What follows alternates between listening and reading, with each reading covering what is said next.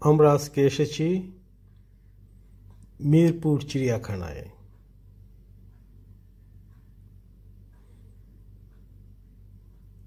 এটা বাংলাদেশের সবচেয়ে বড় চিড়িয়াখানা।